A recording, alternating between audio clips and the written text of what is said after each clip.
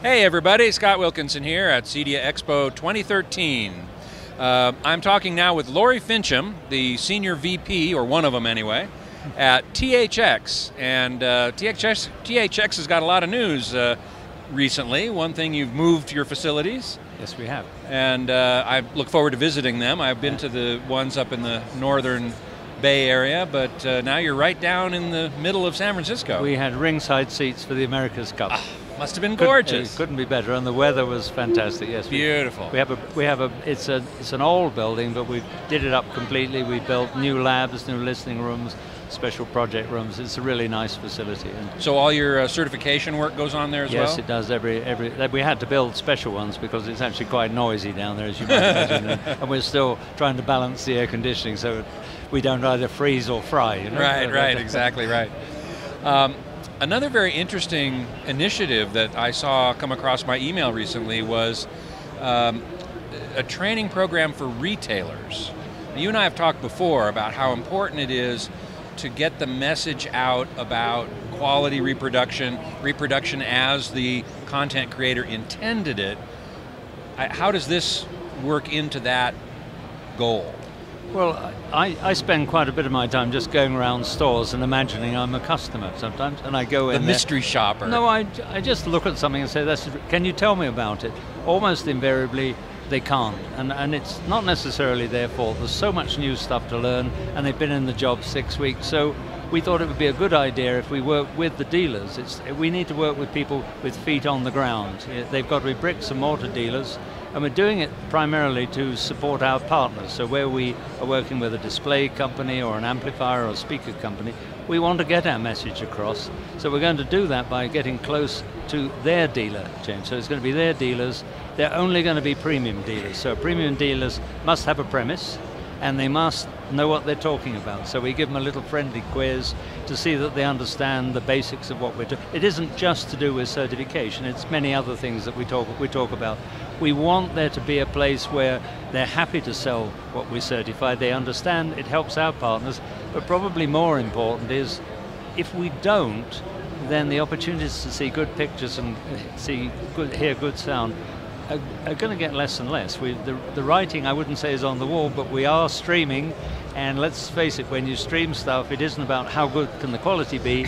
If I have a better compressor, can I get twice down the same channel without anybody noticing? Well, now, if you don't go to the cinema, where are you going to see a, a, a good picture? And right. they, if they saw it, they would understand. So we thought it was. So we're just doing a short rollout with four people at this show, but we shall we shall expand it to our other our other partners, especially in the display area too. I've always thought that brick and mortar stores were very important. They're losing a lot of ground to internet sales. There's two aspects that I want to talk about. One is actually buying product, receivers, speakers, displays, and so on. A lot of people go online to buy them, but if you go into a brick and mortar store, hopefully you'll find somebody who knows what they're talking about, which is what you're talking about yeah, here. Yeah. And, and you can get information face to face, you can ask questions. It's much more difficult to do if you buy online. Well, you can also see what they're talking about. You can go to the screen and say, this is the difference. I think they're just bewildered by choice. You, uh, you know, I'll go into Costco and I'll look and say, imagine I was buying a TV. Which am I going to choose? Does the price have to do with size? I don't know. What is a smart TV? Yeah. I love pictures. I love movies and yeah. so And I would be bewildered. So I need to go to somebody who I imagine is on my side, you know? Exactly. the, the, car dealer that I went to twice and I was satisfied both times. Right, right, right. Well, I think they're about, I think that the competition where everybody just thinks it's about price, then where's the choice? If you're, if you're not cheaper, how can you be better? So they look for the top stars, the five star reviews, but that's really like something at the top of the hip rate. There is, there is more variation. You can have cheap and you can have very expensive things. They're going to go for the middle, the ones that sell the most. So the customer wouldn't be aware, for example, of the benefits of going to a much bigger screen or to higher resolution or better speakers. And the dealer's not going to stock it because the demand's not there. And then there's the issue of content delivery, which, as you alluded to earlier, uh, you know, the streaming is very difficult to get a good, high quality stream. Uh, and yet, that seems to be the direction we're going. Well, for most people, I think streaming is as good as, as above average TV. You know, you, uh, what I like about streaming, and I was chatting with somebody about it earlier today, is that I can see programs that I wouldn't normally get access to. So I can look at documentaries or obscure BBC. Sure.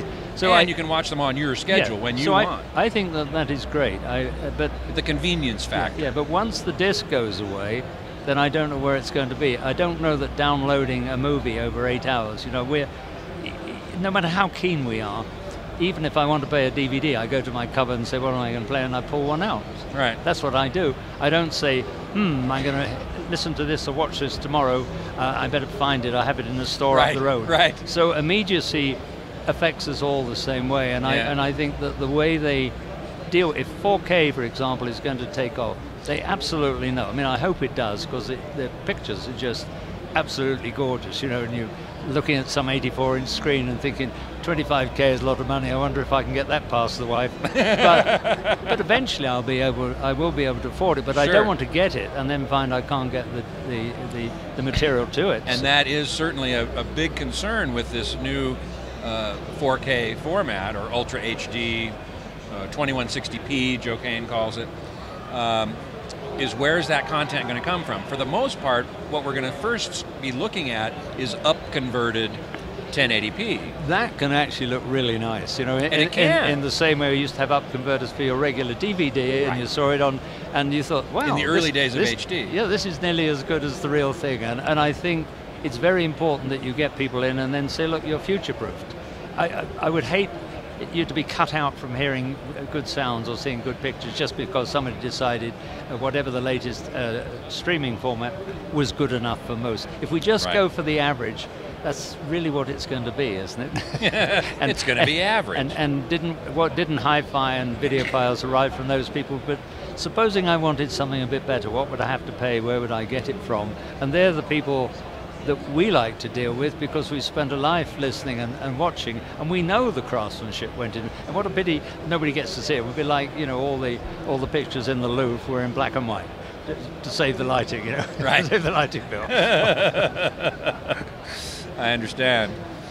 Um, so, what is THX doing in terms of 4K? I mean, are you, you? I believe you have a certification program for 4K displays. yes, we do. Yeah. Uh, what about 4K content? I mean, you have a certification for Blu-ray, right? Yes. And DVD, obviously. Yeah. Uh, are you working on a similar situation for 4K? The problem, I imagine, must be there's no disc format for it yet. Yeah. Um, there's only downloading, really. So I guess that leads to a second question, which is, do you do any certification with downloadable or streaming content also? We we don't at the moment. I mean, we're really we're really trying to understand 4K at the moment. We've had it in for It's- quite a while. it is too new and still, You, and yeah. you've got uh, you know we've got the existing HDMI format, and then you've got HDMI 2 that's due that you could actually download. Everything has to be up converted unless you have a set that has a direct input. But that's pretty much limited to uh, Sony at the moment. And I haven't seen any of their new format. I'm sort of waiting till I can see some of their movies on the little round box, and I yes, yes, the hat box. yeah, I, I haunt my local store and they say, well, no, we're still doing it off the server. Oh, you should be able to contact somebody at Sony and have them send you one. yeah, but it would be it would be nice. But we do, and I understand a lot more about up conversion. I'm not a video expert, but we have people in the place, and, Yeah. and the test uh, sequences and methods that we use. It, if you chat to Peter uh, later on, you'll you'll get a better gonna, insight. yeah, we're going to talk with him a little bit later. displays are displays, you know, and, and trying to understand why these. We, we can do a lot of that with instrumentation. We'll still look at the pictures, you understand. When we do video, we of course do look at the picture, but we actually push the set further than the pictures demand. So we go in, let's say we see some anomaly in a pattern, and we'll say, wonder why that is. How might I see that? Well, we think it might be. So then you go to picture to see if you can see edge effects or noise or mosquitoes and, Yeah, yeah, and, and yeah, stuff like that. And we try to pick an achievable but sensible level. I mean, I, I can tell you only one thing. If you learn how to see it, you can't unsee it. You can't it's not see it. It's just, I mean, you, you just know you're going to have to change. Yeah, yeah. In the couple minutes we have left, uh, I know you're more of an audio guy Mm-hmm. by by training, by temperament. You're a musician. You're Yeah. a bass player. Yeah. A man after my own heart. Um, what is uh, going on with THX in terms of audio these days? Anything new? Well, we've been working, as you know, on uh, amplifier technology, and, and we're going to be uh, working with a partner to actually see one of our amplifiers come out, and it's going to be very quiet and uh, have an enormous uh, and extremely low distortion. So I, I, my thought is that if you don't have anything getting in the way of the music, then jolly good. And I think quiet is good. I think being able to get down to the detail is, is good. And so we'll just see. We are getting involved with the launch of the thing because the demand will not come from the market because that's set by what you can uh, see in Amazon or something like that. We're just saying, look, if this is interest, take a listen. So that's that's the thing we're going to do. We're going to show them what a really good amplifier should sound like. is this going to be a, a, a, THX product, or are you going to let?